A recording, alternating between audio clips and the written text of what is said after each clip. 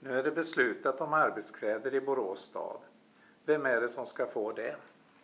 Ja, det är i alla fall inte jag. För mig som sitter här på kontoret så räcker det gott och väl med den här namnbrickan. Och, eh, det handlar om människorna som behöver det för att klara av sitt arbete. Hur kommer det att fungera? Det kommer att fungera så att eh, våra förvaltningar kommer att eh, titta över hur det ser ut i verksamheterna och eh, till exempel vård, eh, förskolor och eh, fritids där man eh, måste köpa egna kläder för att kunna klara av sitt jobb. Där ska man få kläder.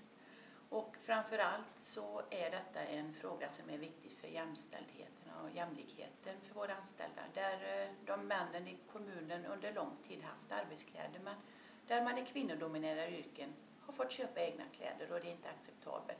Och nu äntligen efter väldigt många år så är det här beslutet fattat.